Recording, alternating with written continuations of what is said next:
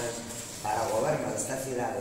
É así como nos fabricamos as nosas ideas, non a base de pintar cousas bonitas, sino a base de saber que lle preocupa a xente, que lle interesa a xente. E entón se van falar de tres temas, insisto, que son moi preocupantes para todos, para a xente, para nós, para todo o mundo. Que a renda social, as pensións e o crédito. E para iso, contamos aquí con catro personas estupendas Chegou a toda a nomeadas por orden de intervención. En primer lugar, temos a Javier Pérez García, que insistía que dixera que el vai falar en primeira persona desde da súa vida, do seu empobrecemento, da, da súa exclusión social, e dos medios e do xeito que ten para loitar contra isto non só por sí mesmo ou porque lle afecte a él, sino para sonar as persoas que están na súa mesma situación e a súa forma de lutar contra todo eso é precisamente traballando arreo en institucións sociales e en ONGs e indo con Marea na nosa lista por entender tamén que Marea sí se preocupa por estes temas. Despois vai falar Herminia. Herminia Dios coñece de alto Todos, de todas, o sea que pouco podo decir, si decir que psicóloga, que tamén os saberedes, pero para mí sobre todo unha traballadora social, porque a faceta que para mí máis desta caverna, non? E vou poner eh, na miña na miña boca verbas que descoitei a ela. Ela é a pesada das políticas sociales pensadas para dar resposta ás necesidades das familias, non para vender propaganda. E a dos feitos e non as intencións. E añada aquí, isto angado é, é a teimuda en defender e exixir os dereitos sociais da xente. Esa é a Herminia que todos queremos, pois o merece, merece moito máis do que queremos. E por último, non por eso, menos importante, no, non me diamos no, no, veces, no, no, no. Ai, perdona, este sabes o que pasa? Eu este sí que moito porque coñezo pola tele por os polos que escribe. E estou desexando dicirte algo. Pero... non te sino depois os tramunadas, na hora despois, despois o falaremos. Tranquilo, todo piqueiro, non hai problema. E, e xa digo, perdón, de novo Javier Pérez da Vila, que é economista e que é un activista pola defensa das pensións, algo que nos afecta a moitos dos que estamos aquí e sobre todo a moitísimas persoas neste país por mor de sufrir as consecuencias dos recortes e dunhas, duns calvarios a que nos someten, inclúome, porque, desde logo, a vida cambia a todo o mundo cando chega a ese momento que parece que todo debía ser tranquilo e de, de raposo e de relax e resulta que tes fillos que te necesitan netos que te necesitan e que a pensión non dá para todo. E entón, se eu me queixo que non teño dereito comparándome con toda a xente que está moito por caminho Pois por eso digo que nos afecta a todos e obriga de todos loitar por un tema tan importante como ese. E eso o que fai Javier. Pero es que ademais, eu digo que obriga tamén os que veñen detrás, porque se ahora estamos mal e as cousas siguen como están, os que veñen detrás van no pasar moitísimo pior E Javier ademais eh, fixo un libro que é moi importante porque trata deste tema e chamase A batalla das, sobre das pensións 1971-2013, que logo seguramente teremos tempo de escoitarte sobre este libro. E bueno, xa está ahora xa podo falar de Manuel, Manuel Lago, que seguramente moitos coñeceredes. Eu, a persona que me fino eu, para mí, se dixen no que falamos por teléfono, que era unha das súas fans máis enfervorizadas. E digo, a pesar de que este ali o meu home, porque sabe. que quede claro que o sabe, porque es que os dous eh, cando había aquela televisión, nube televisión chamábase, pois o único que veíamos nesa televisión era as tertulias os debates que había na Tina, non? E a mí me encantaba me escoitar a Manuel, e podo decir que meu home que non é así tan para este lado como eu, pero sin embargo me encantaba ir tamén Manuel. E, e, e sempre comentábamos, porque realmente sois o que él decía, as opinións, as, as, a concreción, as, as sincerezas e redes de como explicaba as cousas. Entendíamos hasta os que non entendemos nada de economía, non? E entón, eu, desde eso, bueno, logo seguí no moito eh, na voz de Galicia, entras vivo ali, que teño que decir tamén que era o único que eu lía na voz de Galicia, porque os periódicos non son bons, pero sí, cando ele escribiu o seu artigo, leía o seu. E bueno, el, eh, economista, na é profesor da Universidade da Coruña e, en fin, sobre todo el lío que, que máis lle gusta facer e que volverá a facelo en canto, en canto deixe o seu momento de agora de ser eh, parlamentario no, no Parlamento Galego e, bueno, tamén teño que decir que Cerberra o pensa a de Marea Atlántica na Coruña eh, e o cual xa sabedes todos composto de obras. Verdad, Mari, que te sabes?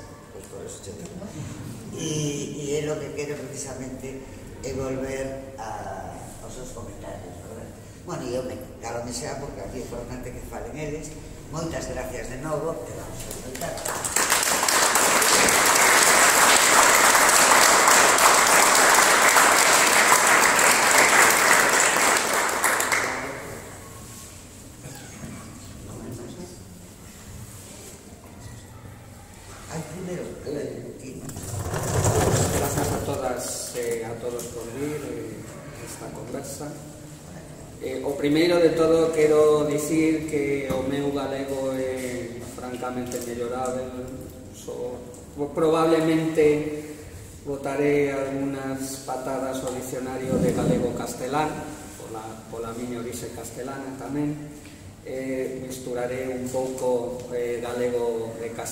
nesta, nesta conversa.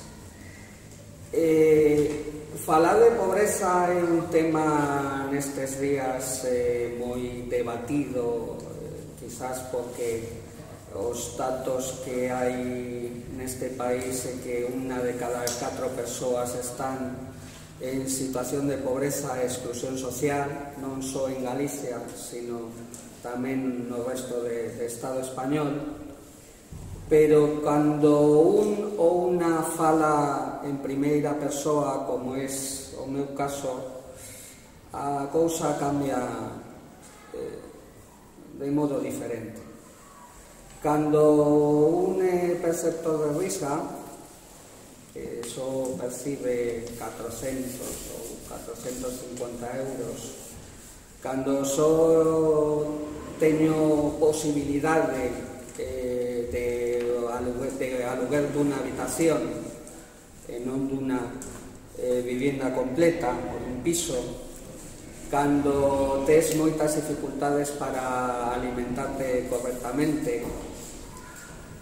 Eh, cando esta situación agravase cando teñes fillos a cousa cambia bastante.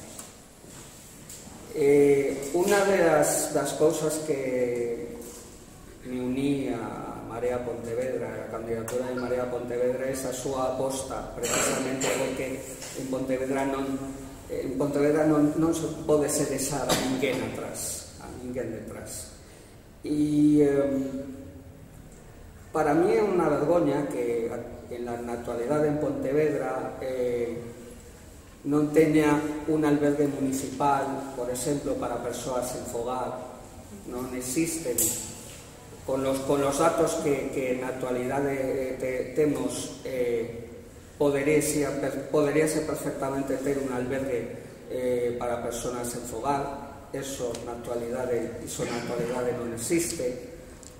Eh, na actualidade Pontevedra eh, dentro das sete, das sete grandes cidades de Galicia eh, é a segunda que máis prazo teñe a hora de tramitar a risa entre 5 e 7 meses, que é unha auténtica vergoña que unha familia ou unha persoa en situación de pobreza teña que esperar 5 ou 7 meses para percibir 400 euros ou 450 euros.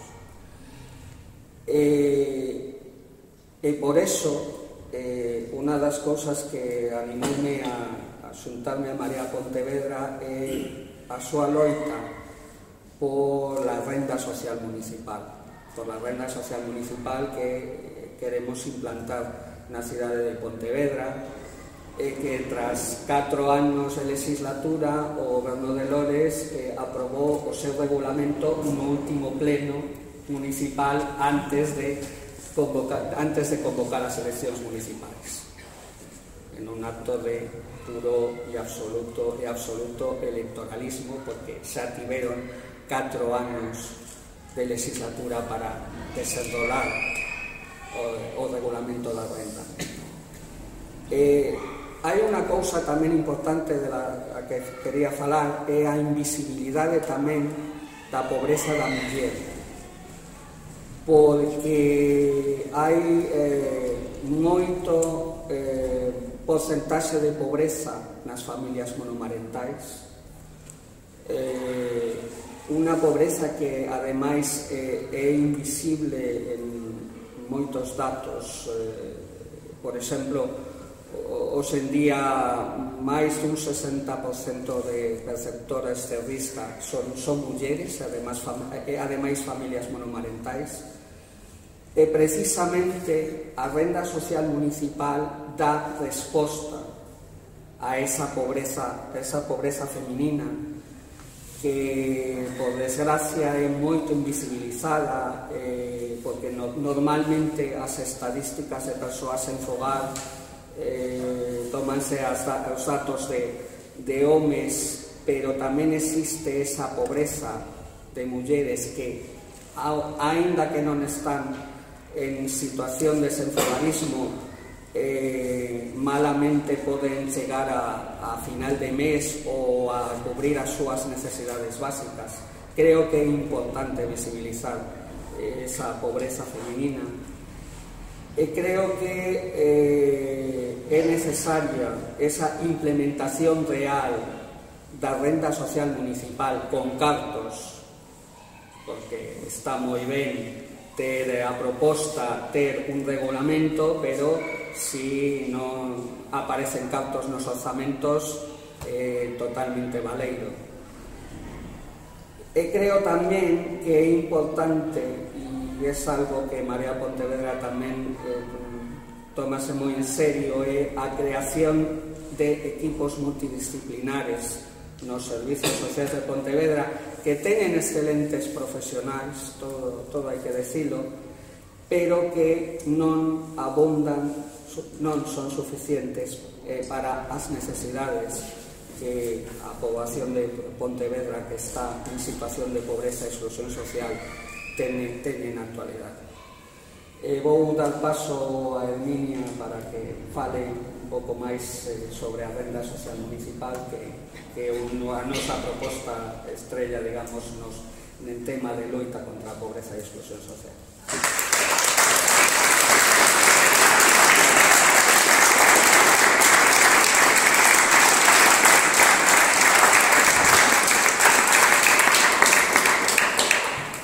Moi boas tardes. Bueno, é un placer eh, tanto con compañeiros e compañeiras na Marea, pero tamén de outras loitas, temas de pensións, temas de emprego, temas de pobreza.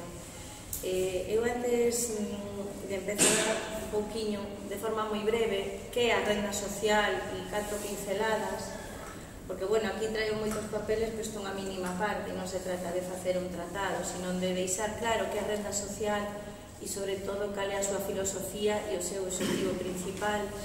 Hai que agradecer a unha persoa dentro de Marea Pontevedra que foi a que levou mm, a voz mm, nas diferentes comisións e vendo a cara constantemente a concelleira de turno contándonos cada día un cuento chino co tema da renda social que a nosa compañeira María del Carmen Moreira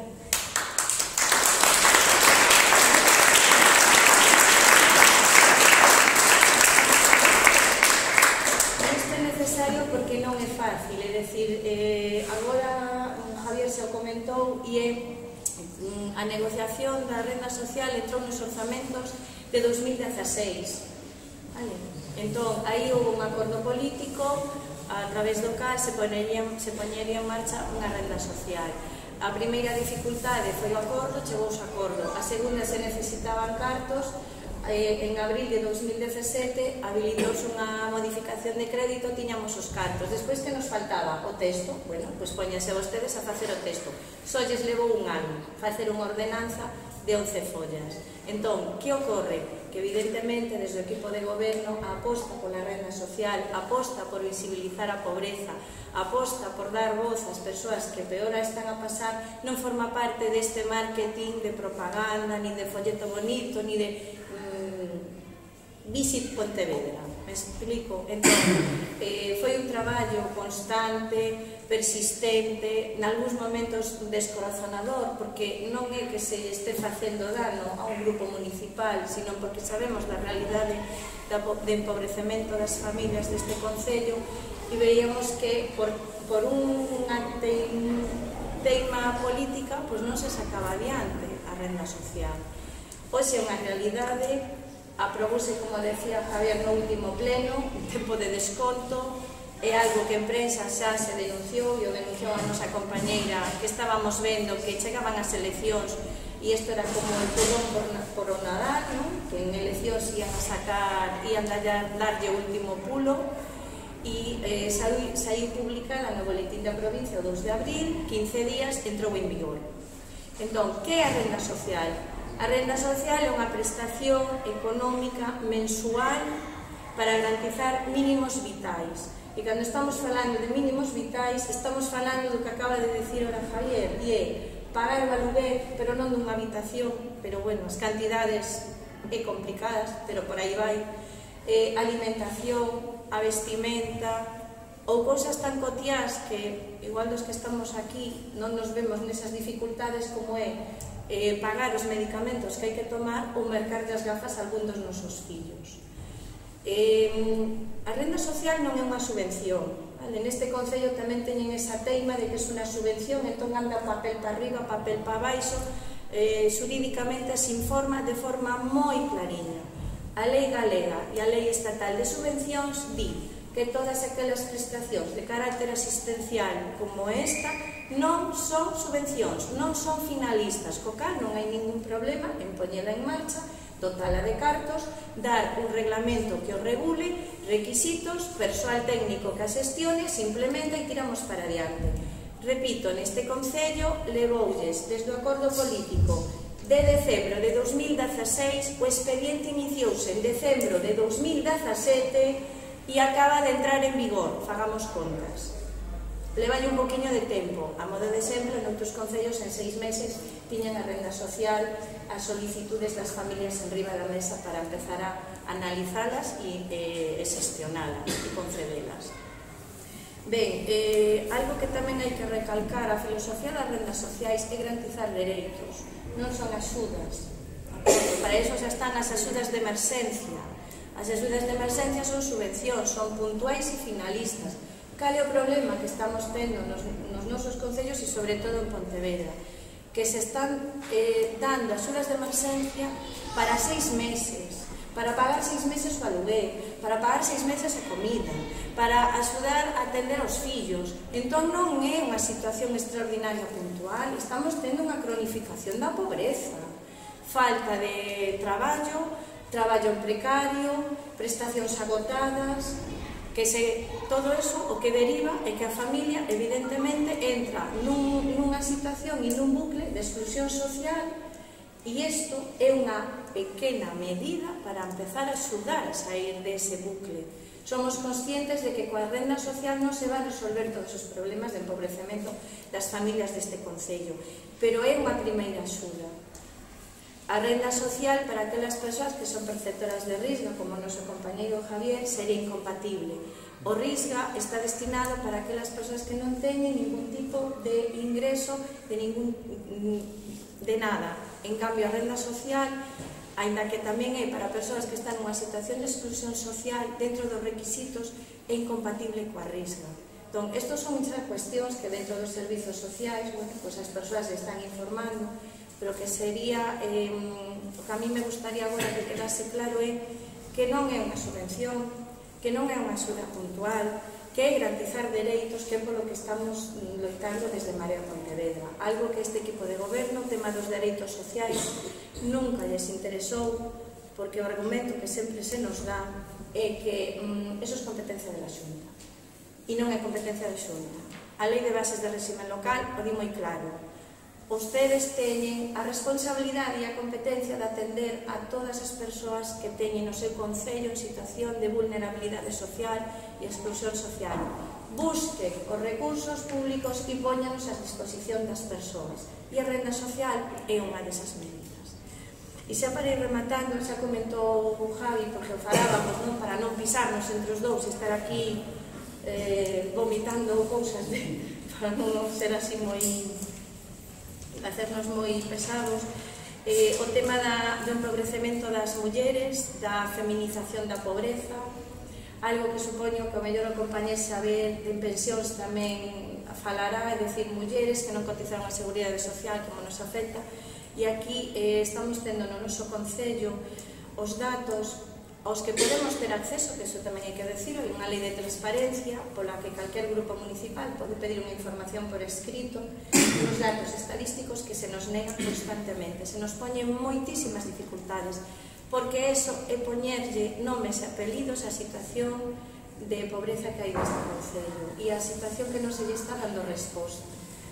Eh, xa para rematar, si me gustaría eh, decir que A renda social é tamén un medio que temos no Concello de Pontevedra para redistribuir os nosos impostos.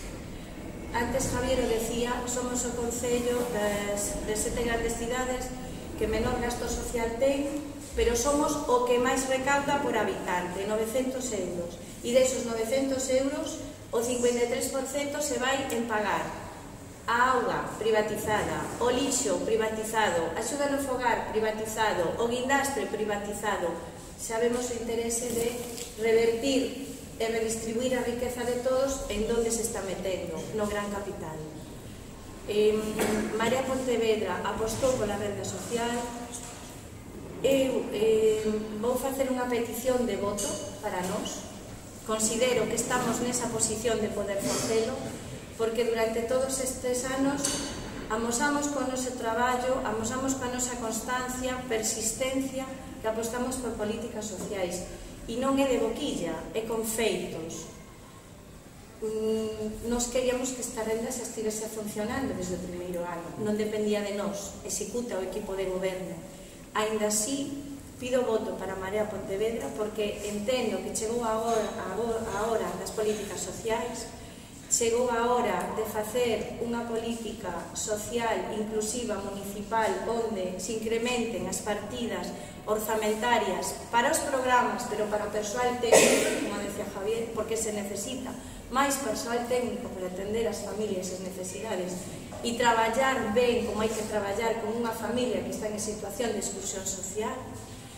E tamén porque estamos no momento en que despois de 20 anos con un goberno que que la política sociales es de la Xunta necesitamos un cambio. Moitas grazas.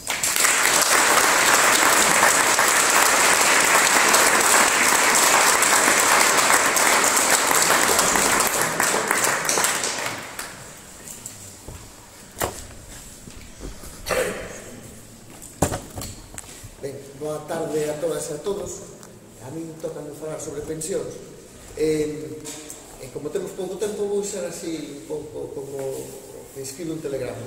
E o primeiro que quero dicir é o seguinte, é que o sistema público de pensións de repartición é o principal instrumento que existe na sociedade de loita contra a pobreza.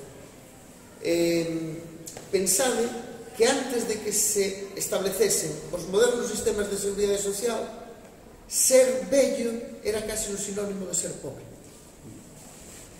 dende que existen os sistemas de pensións, a pobreza entre as persoas maiores baixou muitísimo. E que a pobreza entre as persoas maiores baixase muitísimo é un ben moral, é un ben social, é unha conquista da civilización humana. Porque os seres humanos odiamos ou deberíamos odiar a pobreza. Sobre todo en sociedades como a nosa, Esas son sociedades ricas. Non debería haber persoas pobres, e tampouco entre as persoas maiores. E o sistema público de pensións serve para diminuir moito a pobreza entre as persoas maiores. Fixádenos, fixádenos. En Galiza perciben unha pensión pública unhas 700.000 persoas. En todo o Estado, uns 9 millóns de persoas. E tanto esas 700.000 galegas e galegos, eses 9 millóns de persoas de todo o Estado teñen a práctica totalidade como único ingreso ou como principal ingreso a pensión pública. Que acontecería coa pobreza entre as persoas maiores se deixásemos que nos roubase que non o imos permitir o sistema público de repartición.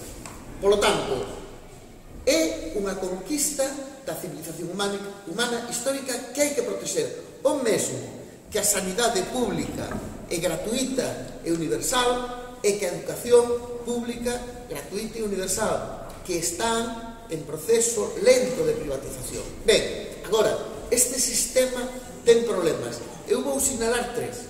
Vou sinalar tres. O primeiro, que hai millóns de, de pensións insuficientes.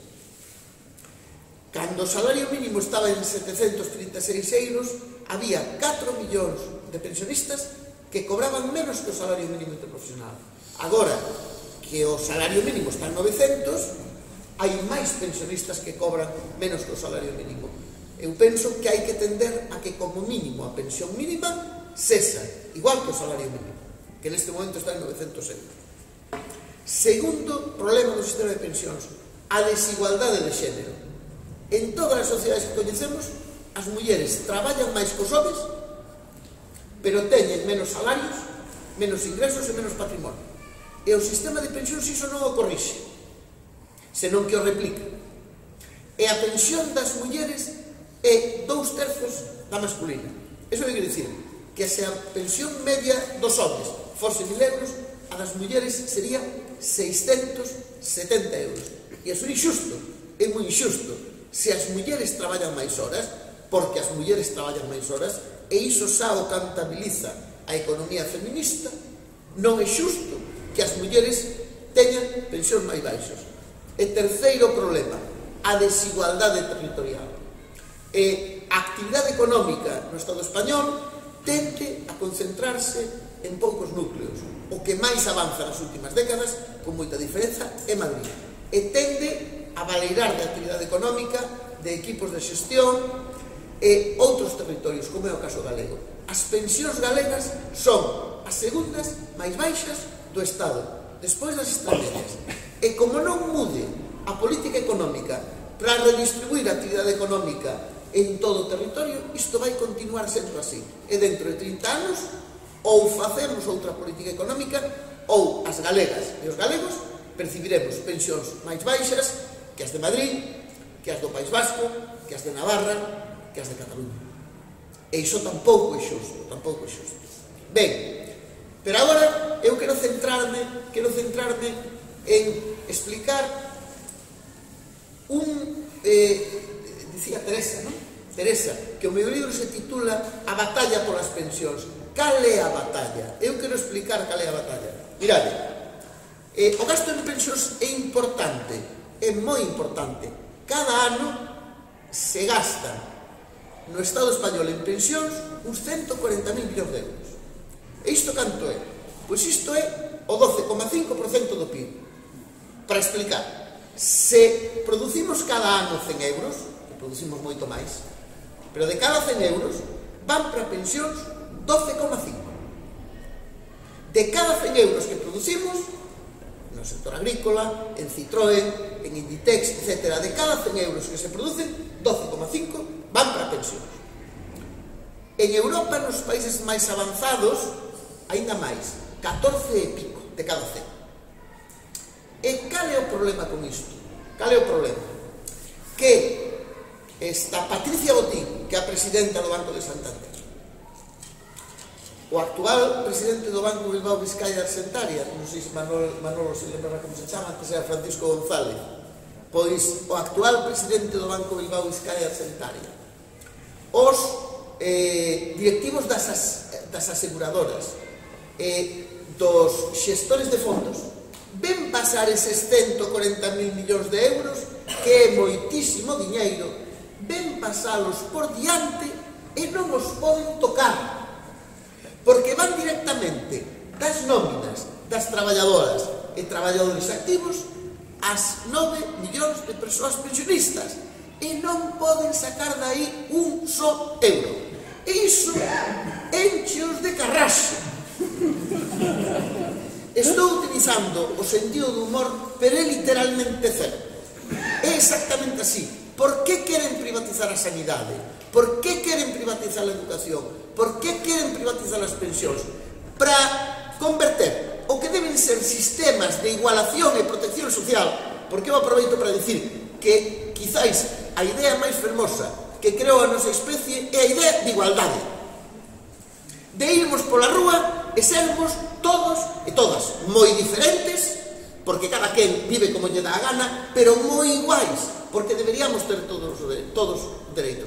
Pois queren converter a educación, a sanidade, as pensións, moitas cousas máis, porque aquí falouse da auga, etc., queren convertelo nun negocio para que Francisco González, e Florentino Pérez, e, e Patricia Botín, etc., etc., poidan repartir dividendos, poidan acumular diñeiro e non hai outra.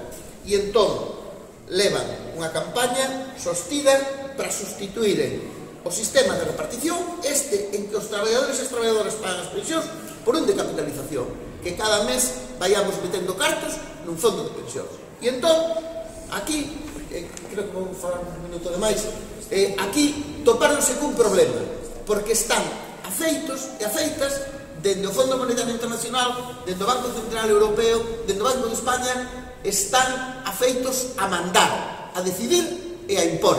E de repente topáronse cun movimento extraordinario. Extraordinario, persistente, continuado, que ten en Galiza unhas 30 plataformas en todo o Estado unhas 250 e que todos os meses e quen en este momento de refluxo de sacar a rúa milleiros de persoas. E como volvan o 0,25 non imos ser milleiros imos ser centos de milleiros ou millóns. E entón teñen un problema. E eu quero facer parte dos que lle creamos ese problema. Non para resistir, eu estou falto de resistir. Eu quero vencer quero gañar e quero derrotalos. Non porque eu sexa mala persoa, que eu son un tipo tranquilo, porque hai que derrotar os insustos. hai que derrotalos e hai que transmitir esa idea á sociedade. Os malos teñen que perder e os bons e as boas que somos a maioría social temos que gañar. E entón temos que facer que Christine Lagarde que a presidenta do Fondo Monetario Internacional e Trichet, que me parece que actualmente o, o presidente do Banco Central Europeo, que durman mal, porque non se sanquen de impornos os sistemas de capitalización. E estou percorrendo, eh, percorrendo ou recorrendo o humor, pero é así, porque queremos unha sociedade de libres e iguais. E para eso necesitamos sanidade pública, educación pública, pensións públicas. E eu penso que deron en duro e penso que os imos derrotar e imos facer todo o posible por derrotar.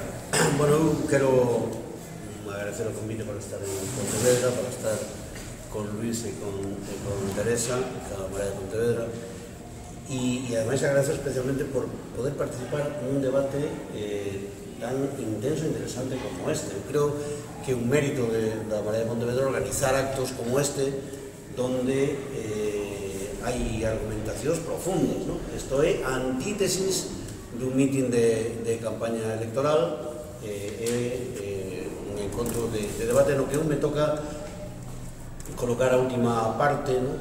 eh, que ten que ver eh, digamos, la filosofía que estamos falando que ten que ver co emprego eh, e o salario Pero antes eh, quería decir algo que decía, decía Herminia, eh, además para presumir. En Coruña, na Coruña, hai unha renta social municipal. Non só eh, é posible polos argumentos que duela, sino porque en Coruña existe unha renda social municipal, dende fai 4 anos, da que eh, protexeu xa a 700 familias. Fai dous días un mitin da Coruña a concelleira Silvia Cameán leu a carta de un beneficiario da renda social municipal e chorábamos que a argumentación desa persoa que lle agradecía ao Concello que lle dera a oportunidade de ter unha vida digna. Eu creo que a Marea Atlántica que goberna o Concello da Coruña é un dos seus principais méritos e ter esa sensibilidade social de gastar 2 millóns de euros en vez de en cemento, gastalos en proteger as persoas máis vulnerables eh, da, da cidade.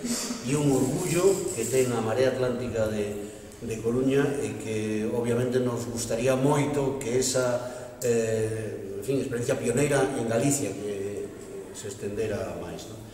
Bueno, eh, tedes mala sorte, nos tocan dous economistas nunha, nun acto como este, eu espero poder ser tan didáctico como, como Xavier.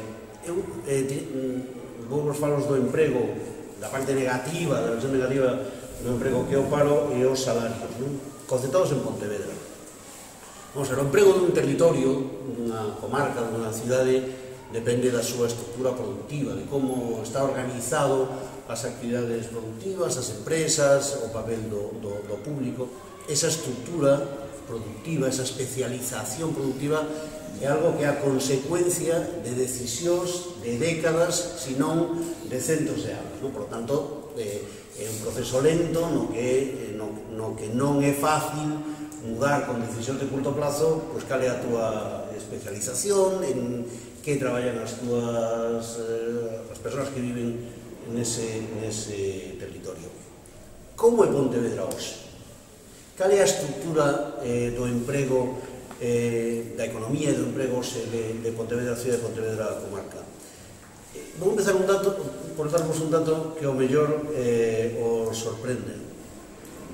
Se si sumamos todas as persoas que traballan na industria en Pontevedra, en todas as industrias de Pontevedra teríamos 2.800 persoas no Concello. Sabedes cantas traballan no comercio? 5.800 persoas. No comercio da cidade traballa, só no comercio da cidade traballa o doble de todas as persoas que traballan no sector eh, industrial. ¿no?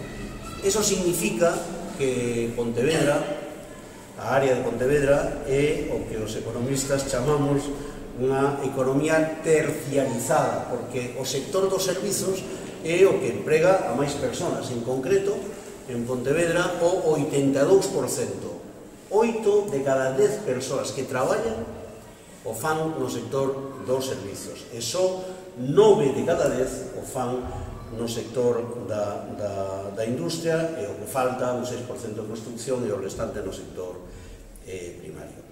Vou me meterme nun pequeno charco, pero creo que hai que sabelo. Na industria da madeira, do papel e da cortiza, que como se recolle nas estadísticas, traballan na comarca 589 persoas. Pero vivindo en Pontevedra, censados en Pontevedra, son 329 persoas. Mentras que no comercio, como os decía, traballan 5.355. Eso significa que no comercio traballan 16 veces máis dá emprego 16 veces máis que o consunto da industria, eh, non vou dar ningún nome, da, da madeira, do papel e da eh, eh, cortiza. Bueno, Eu creo que isto eh, describe eh, eh, un pouco, digamos, as prioridades e o modelo productivo e de ocupación que hai na, na comarca. Unha sociedade terciarizada. Eh, eh, e, e, e nas actividades dos servicios, a mí parece moi, moi relevante eh, a estructura que tedes aquí, porque ten elementos negativos e elementos positivos. Eh, Básicamente, os servicios están divididos en dúas partes que son prácticamente iguais o que os economistas chamamos servicios de baixo valor, porque son a hostelería, eh, o comercio, as actividades do transporte, non? Aí traballan 8.000 persoas. Pero logo, en Pontevedra, tedes eh, un área de servicios de elevado valor. En concreto, na sanidade traballan, na sanidade dos servicios sociais, 3.500 persoas, 3.500, na educación 2.000 personas, no consumo, no, nos traballos da administración pública que non son sanidade e educación do, 2.500 personas. Por lo tanto, hai 8.000 personas traballando en servizos de alto valor, como é a sanidade, a educación, os servizos eh, eh, públicos eh, diferentes destos dous. ¿no? E iso, de alguna forma, eh, eh, define como é a estructura do emprego e a estructura productiva da comarca e do que deberíades de pensar cara ao futuro, non?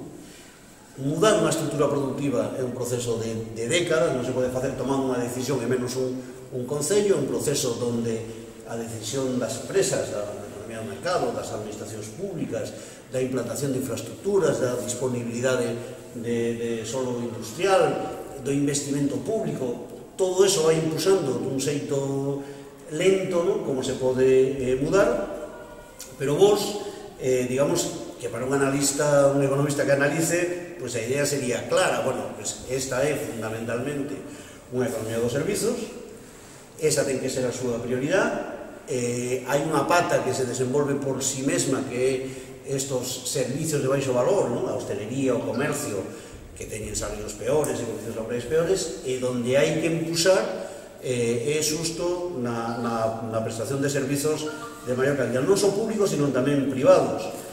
O mellor, digamos, este dato se coñece menos, pero eh, afiliados á súa social en Pontevedra hai 1.800 persoas en actividades que se coñecen como eh, profesionais, profesionais técnicas e científicas. E iso tamén está no mundo do privado eh, supón eh, unhas actividades de, de, donde existe emprego de máis calidade, salarios máis elevados, etc. E, polo tanto, o que teria que facer o Concello de, de Pontevedra sería avanzar en esta liña, non? dunha sociedade terciarizada na que deben ter cada vez máis peso eh, estas actividades del sector privado de alto valor, pero sobre todo, e aí coincido absolutamente con o que dixo Xavier, defender, defender, sin algún sitio ten sentido defender o ensino, a sanidade, o sistema público de pensións, é xusto nun territorio, nunha comarca como eh, Pontevedra. Agora os vou dar, falar da parte negativa do emprego, que é o paro. Que o paro é a ausencia de, de traballo e aí o dato non é bom.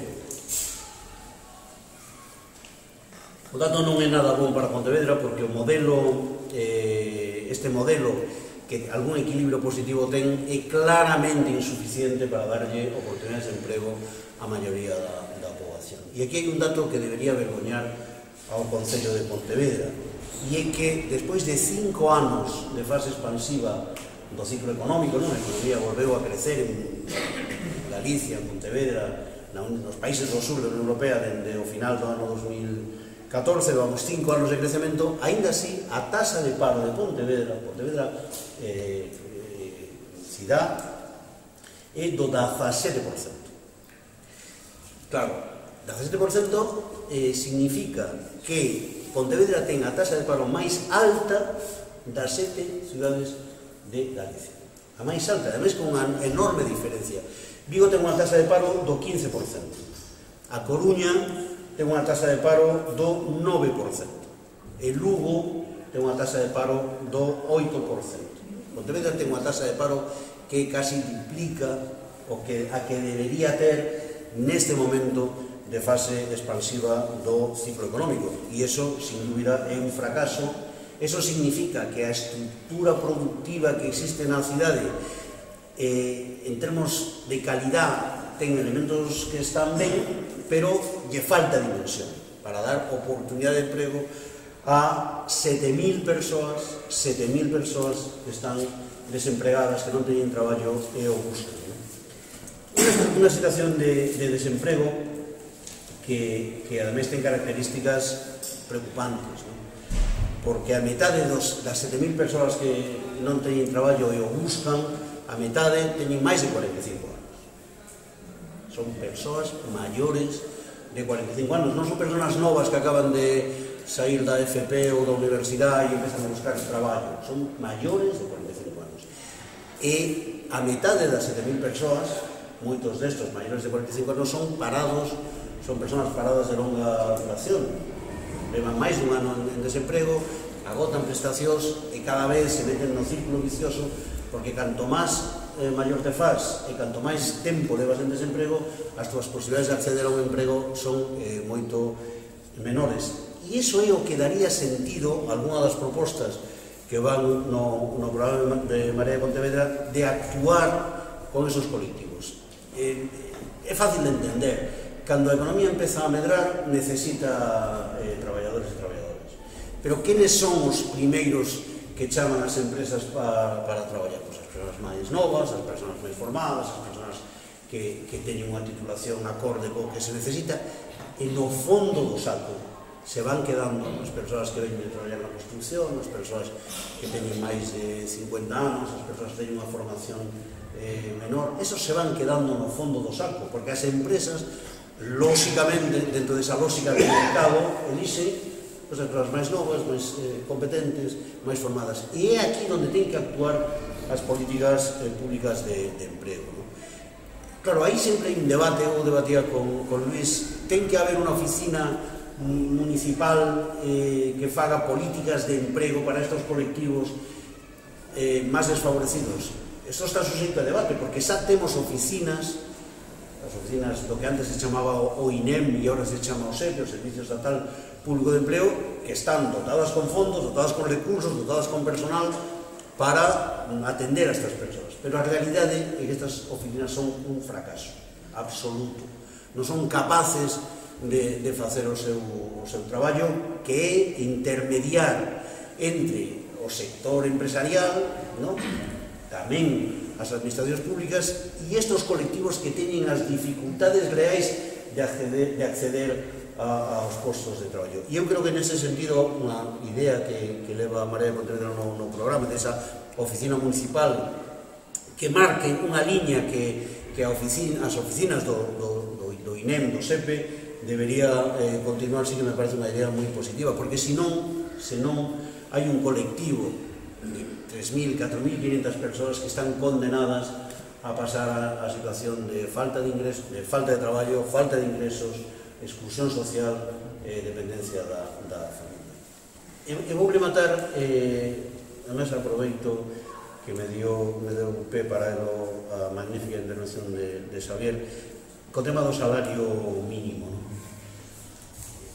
Además, para que Teresa siga falando ben de min, vou presumir un momento, Eh, eu creo que a cosa máis importante que fixen na miña vida como economista do, do sindicato que, bueno, Entón, a cosa máis importante que fixen foi negociar o salario mínimo interprofesional co goberno do Partido Socialista.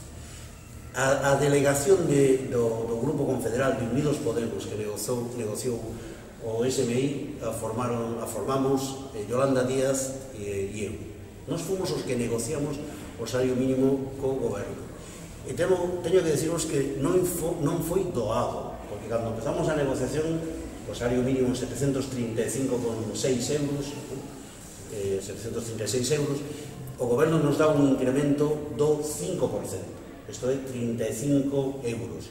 E nós, como ben dixo Xavier, levamos na negociación o salario ata 900 incrementando un 22,3% o salario, o maior incremento salarial na historia do noso país.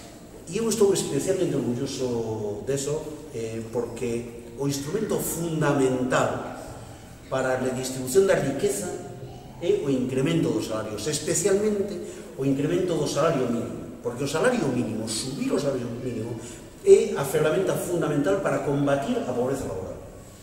É o fundamental para combatir a fenda salarial de xénero, porque son as mulleres as que cobran os salarios máis baixos. É fundamental para as persoas novas, que son as que cobran os salarios que están na escala baixa da escala salarial. É fundamental para os precarios, para todas as persoas que sufren calquer tipo de, de, de vulnerabilidade. E o salario mínimo eh, a 900 euros, subido de, de 736 a 900 euros, eh, beneficiou directamente a eh, 1,3 millóns de persoas do régimen xeral. A 800.000 persoas do régimen agrario. E vou decirlo aquí a 400.000 mulleres porque son mulleres que traballan no sistema especial de bregadas de fogar. E vou vos contar algo que non se, eh, se sabe. Nesta negociación co goberno o goberno nos dixo as empregadas de fogar fora fora porque hai un problema se subimos o salario eh, as enfermedades de fogar, se os incluimos no salario mínimo de 900 euros, va a haber un problema, os van despedir, etc. E quería deixar fora as empregadas do hogar do, do, do este incremento do salario mínimo, nos dixemos que non. E, a canta xente afecta isto en Pontevedra? Bueno, non se sabe exactamente, pero eh, en Galicia si se sabe que un de cada 12 persoas asalariadas, unha de cada 12 persoas asalariadas eh, o seu salario se incrementou grazas a colocar o salario mínimo en eh, 900 eh, euros. E, cando, cando fixemos isto, recordaredes, eh, e saber que siga as estadísticas e a información eh, seguro que o ten na cabeza, cando subimos o salario mínimo a 900 euros, a patronal, os economistas da dereita, ese la calle, eh, ese gurú, en fin, que o botaron fora do Partido Popular, decía que eso iba a provocar unha destrucción brutal de emprego. O el periódico, bueno, chaman de periódico El Mundo en aseseración, ¿no? ese, ese medio que no día, no mes de Xaneiro, que salían os datos, ¿no? eh, en febreiro, que salían os datos do mes de Xaneiro da evolución do emprego, dixo que o primeiro día que se implantou o salario mínimo interprofesional, o, o 2 de Xaneiro, se destruíron en España 350.000 empregos. ¿no? ocultando que eh, España o, o, os lunes, digamos, eh, cando empeza o mes se rematan un montón de contratos que logo volven a crecer. Bueno, o que quero decir é que nostros 4 meses que teñen transcurrido non só non houve ningún problema de destrucción de emprego, senón que pola contra o emprego, a xeración de emprego en termos de cantidad a calidad é outra cuestión, en termos de cantidad vai mellor no ano 2019 que no ano 2018. Eh, ¿no? Por que? Eh, vou eh, levantando con esta idea que se vincula todo o que se dixo eh, aquí. No? Eh, non está tendo consecuencias negativas por dous razos. No? Eh, a primeira é que o salario mínimo en España era moi baixo en termos comparados o que ocurría en outros países da Unión Europea e en términos comparados ca productividade do traballo en España era moi baixa, por lo tanto tiña e aínda ten moito marxen para mellorar. O segundo, que as empresas levan cinco anos, seis anos ganando moitos máis cartos que antes da recesión e, por lo tanto, tiñan marxe suficiente para absorber ese incremento salarial. Pero o, o motivo fundamental de por que vai ben, por que vai mellor o mercado de traballo e incluso o crecemento da economía española que duplica o crecemento da economía alemana e gracias en parte a o que conseguiu os pensionistas de que a pensión subira o mismo que, que a inflación, 1,6, 1,7 e que o salario mínimo subirase.